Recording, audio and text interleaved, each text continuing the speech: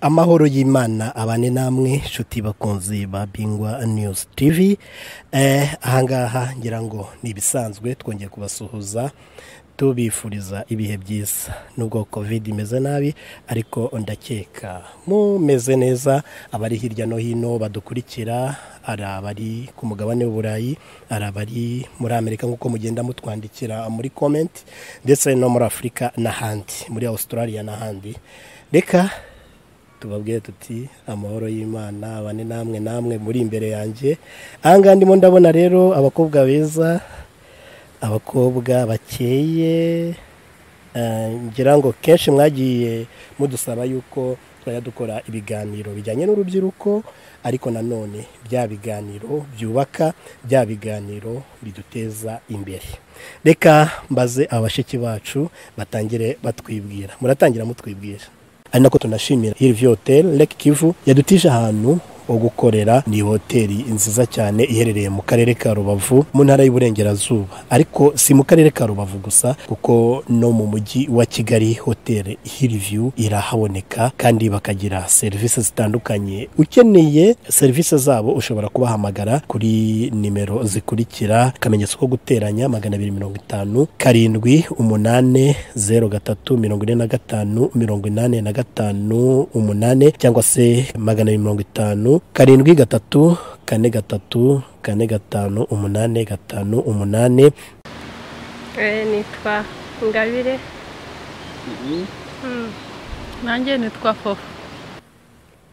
Fofo.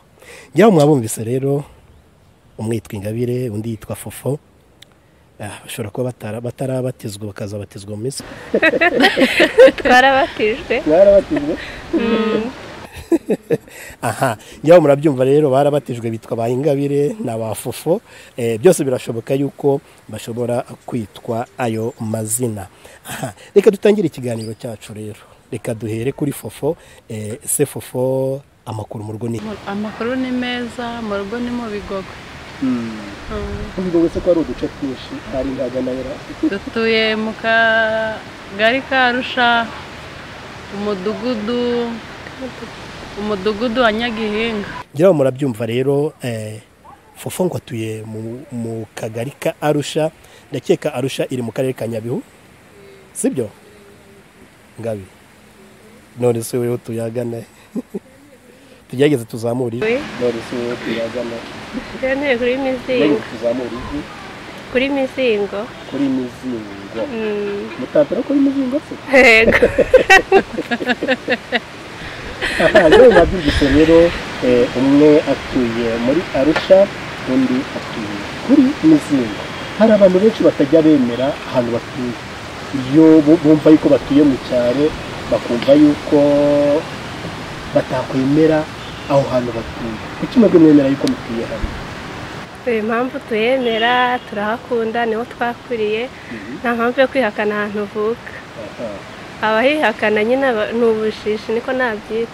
Ni ubushishi kuko nawe icyo bivugaho ngewe icyo nabivugaho mu by'ukuri ahantu haba haragukujije hakaguha uburere hagatuma wabasha no gutera imbere nta mpamvu yo kwihakana iyo uri umuntu uzi ubwenge.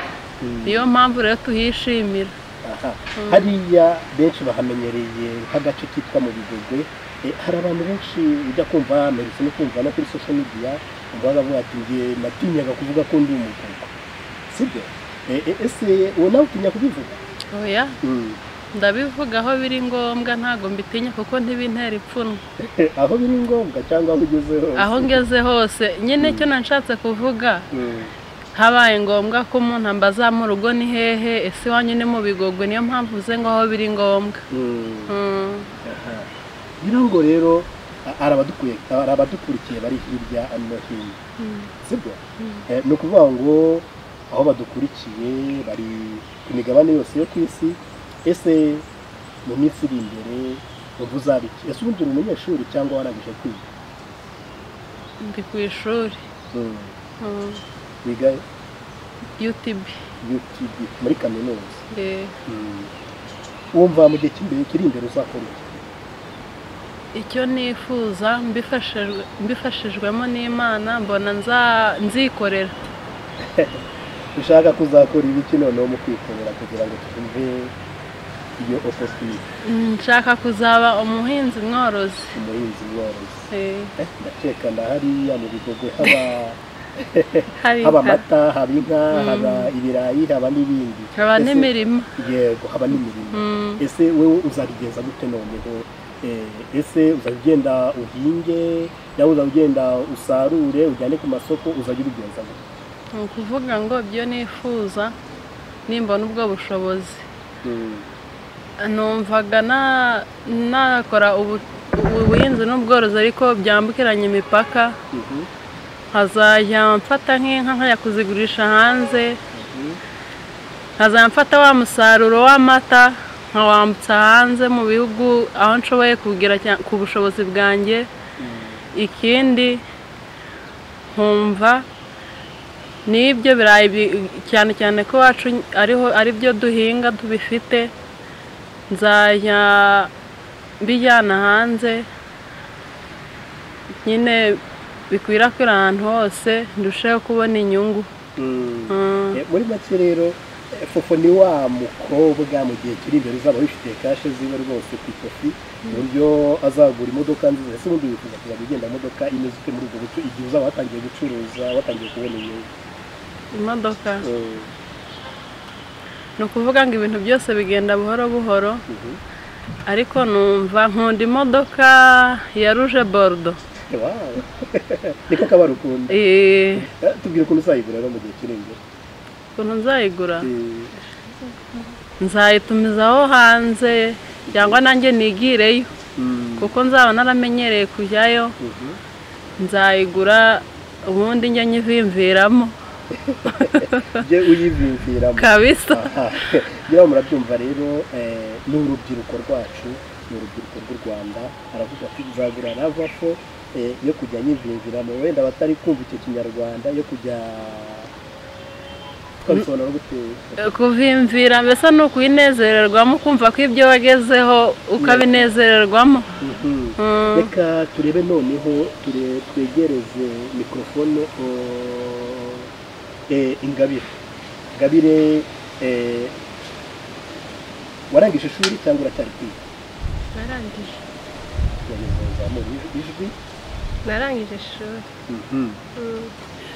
Ah, ese ko warangije ubu ngubu ukora iki nkora ubucuruzi. Ngerageza gukora ubucuruzi bwambukiranya imipaka. Mm. Ah, hari urubyiruko bagenzi banyu eh, usanga hirya no hino badashaka gukora. Ese oliva nk'umukobwa witeje imbere eh, w'urubyiruko ampulisi aho urwo rubyiruko rubyiruko nyine icyo nababwira ni ukwitinyuka bagashaka amafaranga yo gukora hari amabanki ba- yorohereza abantu bagatanga inguzanyo bakishyura buhoro buhoro. Mm. Eh, noneho ah, nk'umukobwa eh, uri kwiteza imbere eh, ese intumbero yawe ni iyihe ni ukugera kuri rwego rwo kwiteza imbere. Urwego nshaka kugeraho ah, ni ugukora hariya hakurya nyine igihugu duturanye. Habayo imikorere myiza kubera gufa- gufashanya ibintu byambukiranya umupaka. Ah, ndashaka gukorayo kuzakora uruganda. Uruganda rw'iki? Rukora inzoga. Ese ubu ngubu ku gatama mu gihe kiri imbere nta cyaka kiza nta kizakira cyaka. Nibyo. Izo ni inzozi zawe se uratekereza ko wabikora mu gihe kingana iki? mu gihe cy'imyaka ine. Imyaka ine? Mm, Ah, imyaka ine uzaba ufite uruganda yego. Reka dukomeze reka dukomeze. Ese rwa rubyiruko bagenzi bacu ni cyo bababwira eh, mu rwego rwo kwirirwa mu rwego rwo kwirinda kujya twirirwa tujya gusaba ababyeyi cyangwa se kujya kujya twirirwa dufashe dushize amaboko mu mufuko ni cyo bababwira ntawe watangiye kwikorera nyine nabikomosheho icyo ba- ni ukwitinyuka kubera ko bagashaka amafaranga biroroshye kuyabona. Hari amabanki afasha abantu. Za bdf ah, bafasha urubyiruko bakabona amafaranga yo ku- yo gutangira kwikorera bizinesi uruhare rwawe noneho ni uruhe kugira ngo ujye kwigisha eh, nyarubyiruko bagenzi babo ni ni uruhare rwanjye nabahereza. Ni ugushirika ubwoba nyine ukumva ko ushoboye. Eh, turi kumwe n'urubyiruko rero urubyiruko eh, rukunda ibintu bitandukanye ese mu buzima bwawe ukunda? Ubuzima bwanjye? Eh, nkunda kubaho nishimye nta siteresi nkishimana n'inshuti zanjye Mhm. n'abavandimwe Mm, icyo kintu kinezeza. Mm. Mm. hari akantu nibutse eh, ababyeyi bacu ba kera eh, kenshi wasangaga batumva ikintu kijyanye hajya babyita GBV GBV mu kinyarwanda ni iki? Ni imyororokere. Imyororokere. Sibyo? Mm. twabyita Eh, imyororokere. Ese muri iki gihe ubona bi- bimeze gute? Kuko hari igihe dusanga ugasanga umwana yatwaye inda ejo ugasanga mwana avuga bati ntabwo ababyeyi ba- ba- baganiriza abana batoya ah, uburyo bakwiriye kwifata uburyo bakwiriye kwirinda. Wowe ubibona ko ngabizi Eh, uko mbibona baratinya kubivuga. Mhm. Niba navuga ko ari umuco ntabwo nagiye bisobanukiwe impamvu. Mm. Eh, none weho wakora iki? Eh, hari icyo wakora kugira ngo uhindure imyumvire y'abo babyeyi? Ah, imyumvire urebye ba- habaho ubukangurambaga bwo kubigisha gutinyuka. Ariko baragerageza. Baragerageza. Mm. ubu ngubu umubyeyi yigeze abikwigisha yarabimbwiye Eh, Mm. byagufashije iki none? Bya- byamfashije nyine kubaho mu buzima ukamenya ukuntu wakwitwara neza. Yego n'ubu ni- n'intuza ni inshingano z'umubyeyi nyine guha uburere umwana. Reka turebe none watubwiye ngo ngo ukunda uri no stress. Eh, eh, ni byo ukunda. Nta kindi ukunda se cyagushimisha mu buzima busanzwe. Ikindi nkunda. Eh, ikindi nkunda nyine ni ukwikorera tu. Mba ndi bize naruhutse nyine ndi kumwe n'inshuti zanjye nkumva mm, ari sawa. Mm. Mm. aha reka tuve kwa fufu noneho. Eh, nawe tubwire ese fufu muri wowe ubona ari iki wafasha urubyiruko rusanzwe eh, mu buzima busanzwe ubona ari iki wafasha urubyiruko? Mu buzima busanzwe icyo mbona nafasha urubyiruko mbona nabashishikariza gukura amaboko mu mifuka bagakora kuko iyo umuntu adakora ngo amaboko adakora satani ayashakira akazi. Ni ukuvuga ngo iyo umuntu ari bize n'akazi afite ikintu akora ntabwo ajya mu mico mibi. Kubera ko aba afite ikintu ashaka kugeraho. None icyo nakwifuza mbese nashishikariza urubyiruko bagenzi banjye gukora bakagira icyerekezo kizima bakava mu mico itari myiza nyine bakagira icyo bigezaho. Bakava mu bukene. Eh, watubwiye ngo wiga muri kaminuza eh, ikindi tubwira ko ah, uzikorera bizinesi ukaba mu bizinesi women ese ko n'ubundi wize kubera iki utazajya gusaba akazi ukajya kuba umucuruzi? Impamvu ntazajya gusaba akazi urabizi ko ubu ngubu akazi gasa nk'akabuze biragoye. Ariko biranashoboka ko kaboneka. Ariko kwikorera numva ari byo byampa amahoro bikampa umunezero. Mm, kandi ngatera imbere vuba. Ah, fofo mu buzima bwa buri munsi. Mu buzima bwa buri munsi hari igihe duhura n'udukoryo n'udukoryo dutandukanye eh, ese nta nk'akayi gakoryo kakubayeho karagutangaza cyane karanagutungura. Eh, wakatubwira? Eh, Eh, akantu kambayeho. Ni ukuntu nayobye bwa mbere nk'igera kigali narayobye yari kigali ngiye gusura abavandimwe. Bwarakeye mu gitondo badutuma ku isoko. Ubwo twari turi kumwe ntabwo twari turi bugarukane mu rugo ahubwo we yari bujye ku ishuri. Arambwira ati rero ugaruke turagiye ariko nugaruka umenye hano hantu twagiye tunyura utaza kuyoba. Rwari urugendo rw'iminota makumyabiri kugira ngo mve ahantu twatandukaniye ngere mu rugo. Ariko nahagiye urugendo rw'umunsi wose. Byagenze bite? Byari byagenze Ehe, bite? reka babwire ukuntu byagenze. Mu by'ukuri nari mfite ubwoba bwinshi. Ariko nagiye niyemeza ko nahabonye ko ndi buhamenye ngarutse. Nari mfite akantu k'agafuka ko nahahiyemo kari karimo imbuto kari karimo ibintu bitandukanye. Noneho ndakugendera ndavuga uko biri kose ni ahangaha. Nakomeza kuzamuka nkabona igipangu nakibuze. Nkavuga mana yanjye. Ikimenyetso ripapayi ryari riteye busi y'igi- y'igipangu mba ndakugendeye. Noneho nkumva ko bajya bahira ahantu hitwa kwa murokore. Ubwo ni kuri botike ngahura n'umuntu ntanzi simuzi ni bwo namubona. Wenda ntanazi n'ahantu naje gusura mu by'ukuri nk'amazi. Wareka nkakubaza. Ntabwo wamenya kwa murokore. Mm, a- umukire w'i kigali bahorera kandi bakambwira nkumva simpazi ese ubundi wajyaga he uko biri kose hari igihe bagiraga ngo ndi nk'igisambo cyangwa umutubuzi.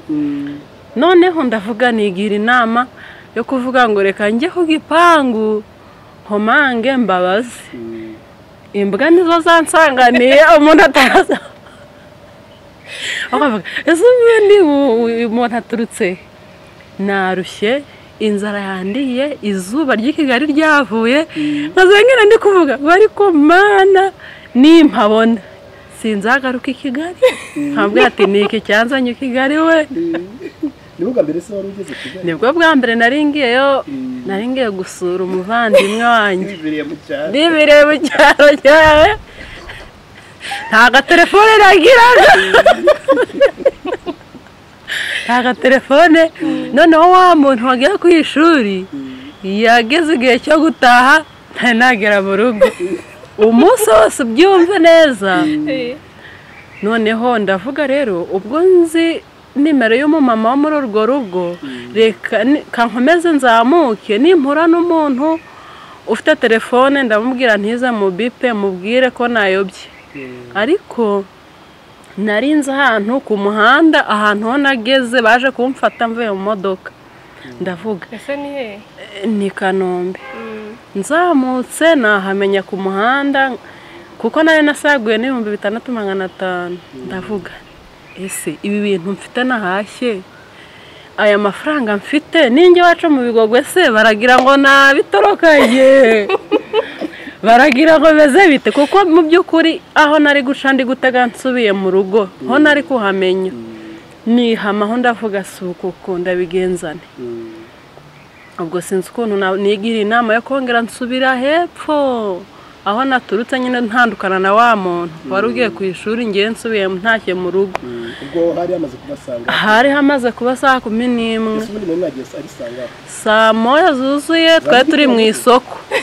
saa moya n'igice twari dutandukaniye ahantu tumaze gutega akamoto agiye ku ishuri nanjye nje mu rugo. Ibaza ahantu nari kugenda iminota makumyabiri nagiye umunsi wose. Hanyuma sinzi ukuntu nakomeje kugenda mpita mbona igipangu ndakibonye ndavuga ariko simbyizera neza ko ariho mbonye. Noneho negera imbere gatoya mbona ni ho. Naravuze n'inkomanga nkoresheje akaboko ntabwo bumva. Nafashe ibuye. Ndahonda igipangu ndahonda. Abarimo imbere bagiye kunkingurira wari ufite Na- bwo kuyoba Eh. nari mfite ubwoba n'amarira ari gutemba. Ku buryo n'imbere yanjye ntaharebaga kubera amarira menshi. Nari mfite imyaka cumi n'irindwi. Mm, muto. Hanyuma abari mu gipangu baje bafite ubwoba baravuga ati uko biri kose turatewe. Baje biruka bose bavuga ko bahunze. batewe babona ni njye amarira ni menshi. Baravuga byagendekeye bite? Ndavuga mureke mbanze ntuze nicare. Ubundi ba- babwire ukuntu byangendekeye ni ako gakoryo kambayeho. Kugira ngo urabyumva rero ntawe bitabayeho burya Pole. ntawe bitabayeho buri wese yarayobye ariko kuyoba kwawe ko eh, kurasekeje cyane. Reka tujye kwa ngabire kwa ingabire rero eh, eh, ese ngabire iyi muri yagusekeje iransekeje ariko ni ibisanzwe ku muntu wese uvuye mu cyaro biramucanga none se wowe wageze i kigali ubundi ufite imyaka ingana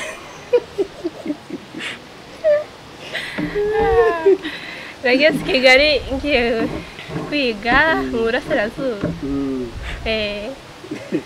Mm. Eh, yose ugezeyo ariko ndi kubona urimo kundeba nk'umuntu nawe ufite agakoni ntabwo kabura. Nanjye byarangoye. Byagenze urabona ugeze shyorongi hejuru handi uba uri kureba umujyi uri kureba i kigali. Mm. ni ho natangiye guhamagara ngo nahageze. Noneho umuntu wagomba kuza kuntegereza. Mm. Umva arasanze nyabugogo yarambiwe yara- ese waheze he Nati, ndi hafi ndi kubareba imbere yanjye Mm. Hari hari hakiri urugendo Mm. kuva nk'ahari hariya shyorongi nogera nyabugogo hari harimo nk'iminota makumyabiri Mm. ariko nanjye ikintu cyangoye sasa. Mm. kwambuka umuhanda harimo se abantu benshi abantu benshi imodoka ngategereza ugasema nanjye koko ubu ndambuka imodoka zishize mu muhanda Mm. umva ndangije aravuga reka ntegeye moto ndatega moto nyambutse umuhanda Mm. noneho umuntu kandi turi kumwe ya- yari yambutse anegereje hakurya yari yandakariye Mhm.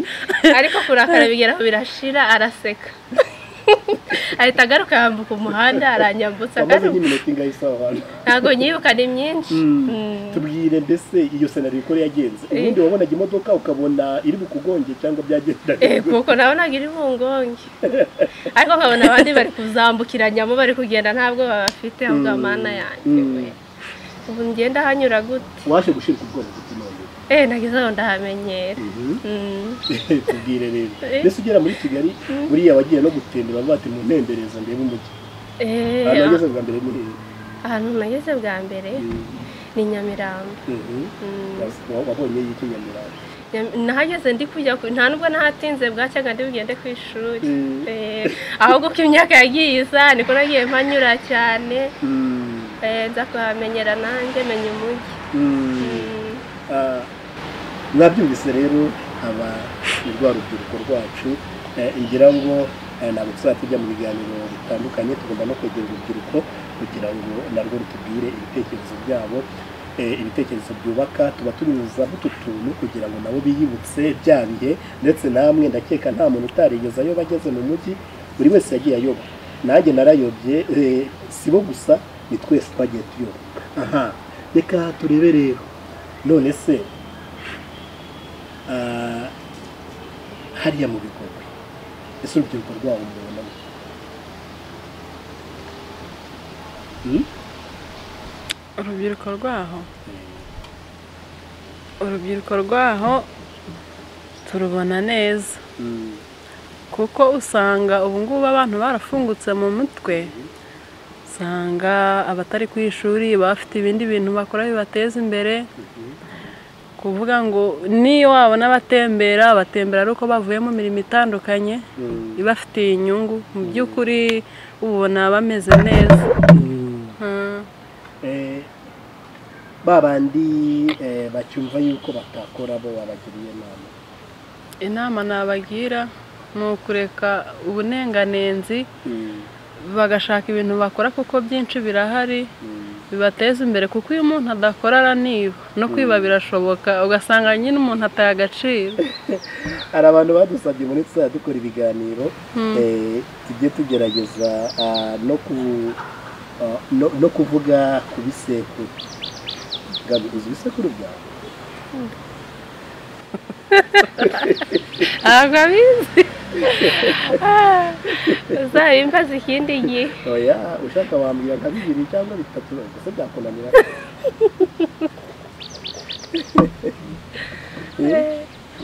Bitatu? Eh, nabishobora. Ni ibihe n'ibihe none. Eh, ni ibihe n'ibihe kugeza kuri gatatu. Eh, nushaka kugeza no kuri kane niba bishoboka. Ibyo ushobora nushaka kugeza no kuri kane cyangwa gatanu niba Mm, ingabire mm, ingabire wa bagirishya Mhm. bagirishya wa kadende. Mhm, kadende wa mutazihana. Mhm, Ah, utazihana bamuhizi Mm. biranze yagerageje. Mm. ukaba umwishywa wawe Mwisho wawe yego. Okay. ngira ngo rero mwabyumvise eh, ntabwo twasuza ikiganiro tutavuze ibisekuru kugira ngo byibuze tujye tunamenyana. Wasanga hari uwa- uwajyanaga na ngabire ah, bagahura kandi nawe ari umukomeza atabizi sibyo Mm. aha. Ngaho rero fo. Ngewe ndi fafa fafa wa nyirimpeta nyirimpeta wa kadende kadende ka kinono kinono wa mwishyuzi naho njya ngarukira. Nta bindi nzi. Mm. Mm. ndi umukono. Munsi w'umukomezakazi Mm, mbese ubwo na- nawe wasanga uri umwishywa w'abahumura cyane bi- wabimenye. Wabimenye ni byo. Niko biri.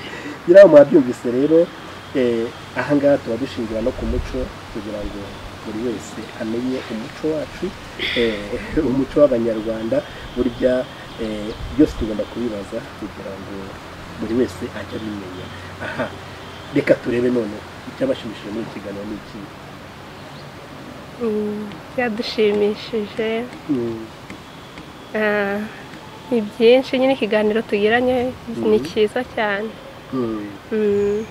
Bijyanye no- no kwibukiranya umuco mm, kwiteza imbere. Mm. Mm. nawe tubwiye.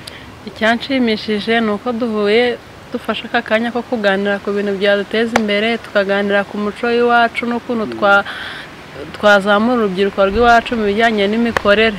Biranshimishije cyane. Mm. Mm. Ah, ngira ngo mwabyumvise rero eh, uru ni urubyiruko. Rwacu eh, urubyiruko rw'abanyarwanda.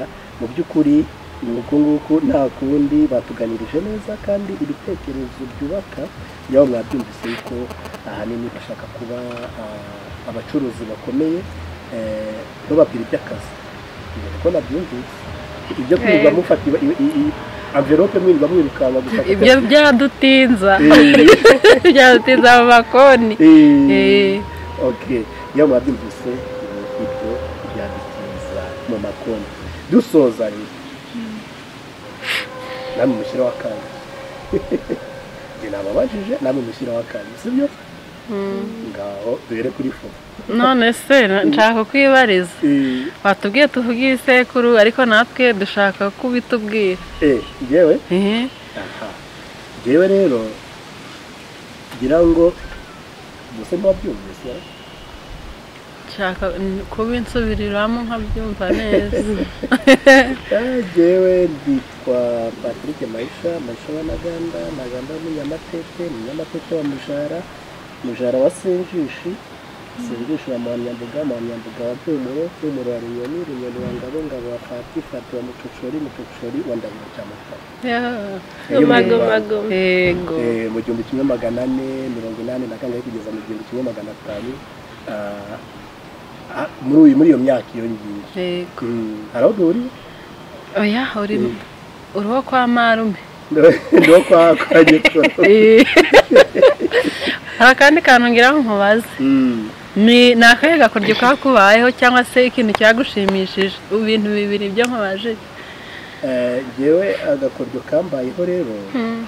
ni twinshi. Mm. Mm, ubwo urambwira kamwe? Kamwe? Mm. eh, kamwe nibuka kera nigeze kujya gutsuka gutsuka urabizi? Mm, ndabizi. Eh, gutsuka ik- ikabutura iracika.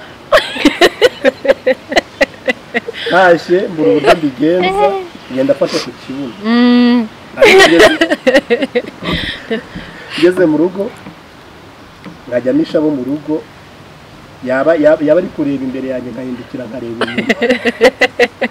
Ubu icyo gihe rero narakubiswe. Ariko n'ubundi ntibyatumye ngira gute ntibyatumye ndeka kujya gutsuka. Mm. na byo twabaga tugiye gutsuka twakuragamo akabutura yose. Ngo udacika iyo kugira ngo idacika. Eh. ubwo rero ni nga- ngayo nguko